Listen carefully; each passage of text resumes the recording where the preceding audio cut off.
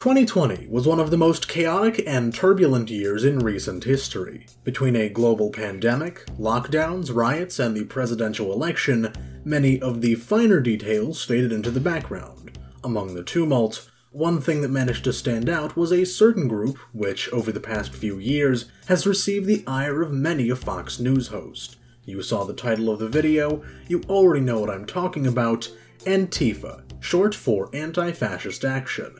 Antifa draws its roots from similar groups in Weimar Germany, as a movement dedicated to preventing the rise of fascism. The American iteration of Antifa has been around in one form or another for some time, first appearing in the 1970s and 80s, but they only rose to prominence with the election of Donald Trump in 2016. Antifa were among the various anti Trump protests that took place in the aftermath of his election, and were at the forefront of the disrupted J20 protests that took place on Inauguration Day in 2017. With this, Antifa caught the eye of the mainstream media and gained extensive coverage, catapulting them to sudden national recognition. Their protests became more common and continued to receive media attention. More specifically, they earned the hatred of conservative outlets and commentators who painted them as a violent mob trampling on the rights of American citizens to political assembly and expression. It's at this point that we need to talk about what Antifa actually is. Something that's first and foremost important for me to explain is that Antifa is not a single organization that you can join or leave, that has any kind of leadership or structure. While it is true that there do exist loose organizations which operate under the Antifa banner, there is still no centralized organizational structure. It is a movement composed of smaller groups, or as FBI Director Christopher Wray put it, it is an ideology. This may seem like a trivial distinction at face value, but it's going to be rather important later on, so keep it in mind. Antifa's goal is quite simple, and they don't bother hiding it. They want to prevent the rise of fascism, which to them means going out and directly, physically fighting far right activists. They argue that this deters the far right from holding their rallies and spreading their message. Many conservatives, and frankly most liberals as well, took issue with their methods, as they believed it infringed on the free speech rights of those activists. Now, I'm not interested in partaking in that debate, and that isn't what this video is about, because unfortunately, we have moved far, far past that stage. In the four years since it was brought to national attention, Antifa has evolved from a fringe group of controversial radicals into a scapegoat for conservatives for all manner of travesties. It's not at all uncommon nowadays to hear that Antifa is a well funded communist organization and plot to overthrow the United States of America.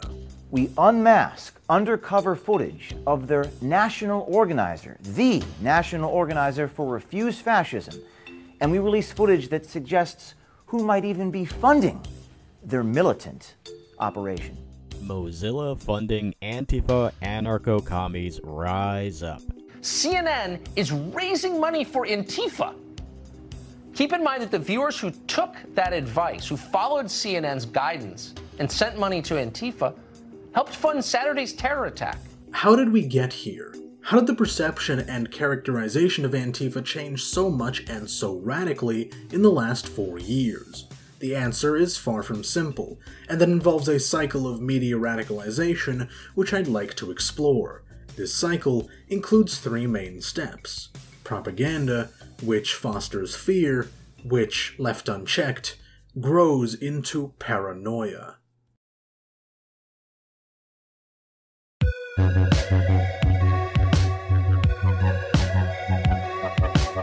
Propaganda is a word often associated with authoritarian regimes indoctrinating their own citizens into supporting them or their cause. But in truth, propaganda has a much broader meaning than this. Propaganda is defined by Merriam Webster as the spreading of ideas, information, or rumor for the purpose of helping or injuring an institution, a cause, or a person. All political marketing and messaging is, in essence, a form of propaganda, and despite the negative connotation, there is nothing inherently bad about it. The lessons we teach our children against racial discrimination are a form of propaganda. The Declaration of Independence is, at its core, a glorified piece of propaganda. However, there's a good reason why the word has the reputation that it does, and that's because of propaganda's ability to twist reality. It's become almost blasé to state that America is in a politically hyperpolarized state like we've never seen before. This is far too often simply taken for granted and glossed over, but it's well worth examining the causes of this polarization. Without delving into more complex psychological processes of tribalism, modern American political polarization can in very large part be laid at the feet of the national media. Starting sometime in the 90s and accelerating into the current day, the American media has grown consistently more and more sensationalistic as the news has become less so reporting on current events and more so entertainment for the masses. And what's more entertaining than a good old fashioned us versus them narrative, wherein one side, or our side, is the virtuous good who can do no wrong, and the other side is a corrupting evil destroying the nation. In the last 30 years, slight political biases on channels like Fox and NBC have evolved into full-on partisan hackery, with most major news channels staunchly taking one side or the other, left or right, liberal or conservative, Democrat or Republican. With both this newfound media environment and the advent of social media in the 2000s, people began locking themselves into political echo chambers of others they agreed with. It's been a common stereotype in TV shows for a couple of decades now to poke fun at the deranged way that Republicans and Democrats see one another, but it's no longer a joke. Republicans and Democrats don't just have distorted views of one another anymore, they practically live in their own separate worlds. Truth is rapidly becoming inseparable from opinion. And this is where we circle back to Antifa. Since 2016, Fox News and online right wing commentators have villainized Antifa to a greater and greater extent. At first, they were described as a riotous mob and little more. They evolved eventually into being described as something more akin to a paramilitary group. This gradual vilification, which had subtly started accelerating after the Charlottesville rally, went into overdrive with the beginning of the George Floyd riots. Donald Trump proclaimed them to be a domestic terrorist organization, even though, as I explained earlier, they aren't an organization of any kind. Conservative media followed suit, spreading absolutely baseless conspiracy theories about their supposedly massive role in the riots. By the time of the 2020 election, Antifa was a perfect scapegoat. Any fear mongering term applied to them by a talk show host who needed a convenient punching bag was accepted without question by Republican audiences. Antifa is a communist plot to overthrow the United States, funded by George Soros, in league with the Democrats, intent on destroying the Republic. This is all, of course, complete nonsense. In truth, Antifa is little more than a disorganized band of teenagers and young adults, primarily of a wealthier extraction, who go out burning and smashing up property in the name of their pathetic LARPing communist revolution, which will never come to pass because their ideals are even more of a bad joke than they are. Antifa is not a threat. They are not worth any of the attention that they have and their menace is an illusion created and upheld almost entirely by sensational media. Yet now, as a result of this sensationalism, tens, if not hundreds of millions of Americans buy into the notion of Antifa as some elaborate communist conspiracy, and out of this notion is born fear.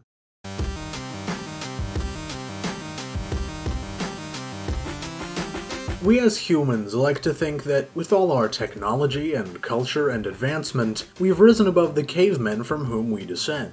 But the reality is that on a fundamental psychological level, we haven't changed in the slightest. There are varying claims as to how many basic emotions humans have, but regardless of how many there are, all estimates include fear as a primordial impulse of the human race. When fear takes over, logic and rationality cease to function, as the primal fight or flight instinct takes over. Therefore, when fear guides politics, the same applies, as reasoning is cast aside in favor of emotion. It is this primeval instinct which sensationalistic media in the style of Fox News preys upon in their so-called reporting. When they villainize Antifa in the manner I described before, not only do they create a scapegoat, exaggerating and twisting reality to fit their political agenda, but so too do they make their viewers, listeners, and readers fear the perceived threat of Antifa, and when they start linking Antifa to the Democrats and the broader American left, that fear extends to not just Antifa, but to anything opposed to the political right. With their viewers mostly locked in a conservative Republican echo chamber, they're able to freely dispense borderline conspiracy theories to their audience with no questions asked. Fear, left untempered for long enough by reason, inevitably devolves into paranoia.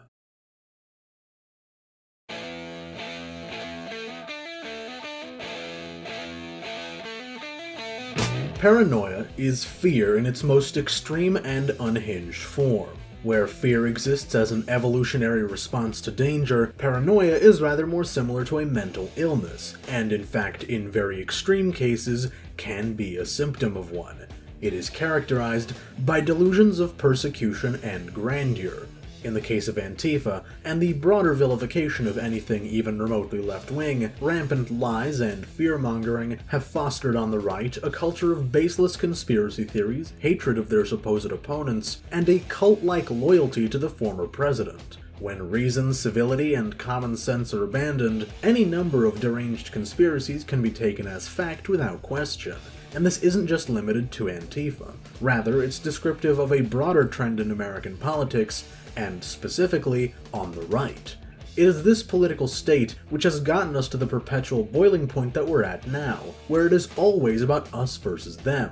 Where, because it is taken as a default that our side must always be correct, any misdeed, any bad policy, any inflammatory comment, anything whatsoever that would cast a negative light on our side can be brushed off and instead blamed on the other side. This was best demonstrated when, in response to the Capitol riots, many of the more conspiratorial Trump supporters spread the completely unfounded lie that all or most of the people who stormed the Capitol were members of Antifa.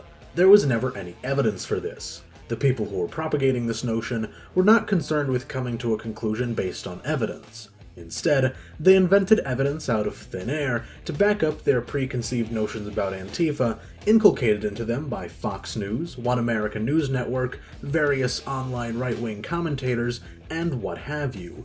Much the same, in terms of living in a political echo chamber and vilifying all who might oppose them, can be said about many Democrats, and I fully expect to receive comments on this video whining about how the left also does this. Yes, I know the left also does this, but that isn't the focus of this video.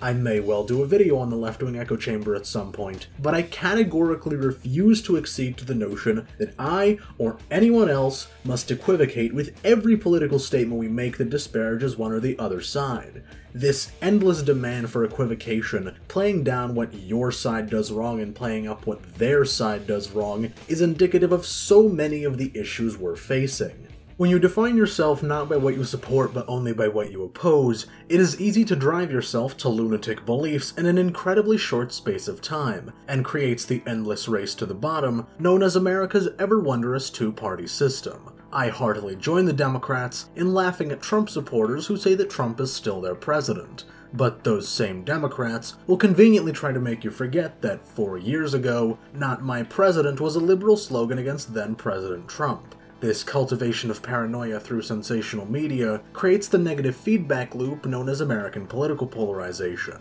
This process can only lead to one thing destruction.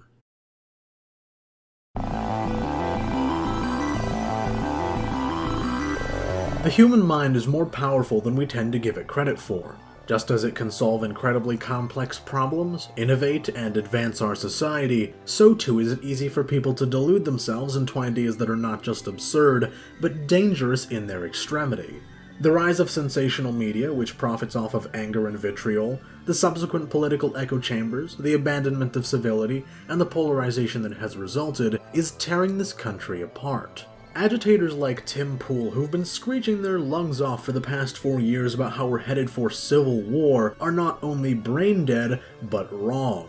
America is not headed for a civil war. We are rather headed to a total collapse of the Republican system and the rise of a strong man who was able to exploit these primal emotions. When you get down to it, Donald Trump is little more than a cacophonous baboon who he somehow managed to put in the White House. Even with his complete lack of any kind of political understanding, he understood how to appeal to emotion, and his actions brought us closer than ever to the brink of collapse. He serves as a cryptic warning for what is to come if we don't swiftly and aggressively correct course. I get asked whenever I say these kinds of things what I specifically refer to.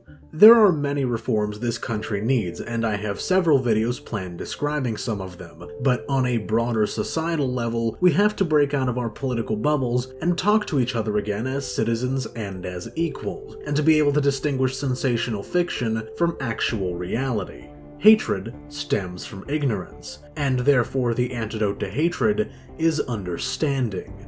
Fear stems from the unknown, and therefore the antidote to fear is knowledge. You cannot get rid of these feelings simply by taking thought, but you can at least recognize that you have them and prevent them from contaminating your mental processes. The emotional urges which are inescapable and are perhaps even necessary to political action should be able to exist side by side with an acceptance of reality.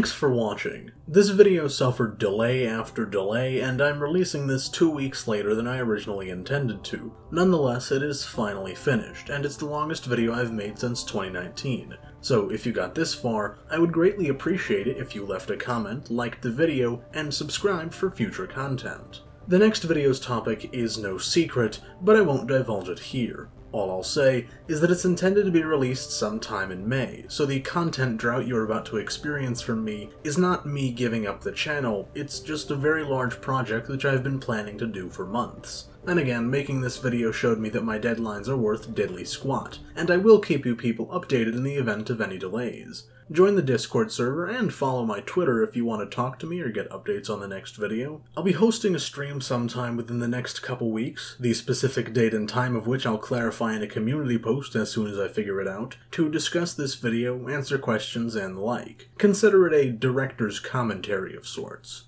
Anyway, with that all said, thanks again, and goodbye.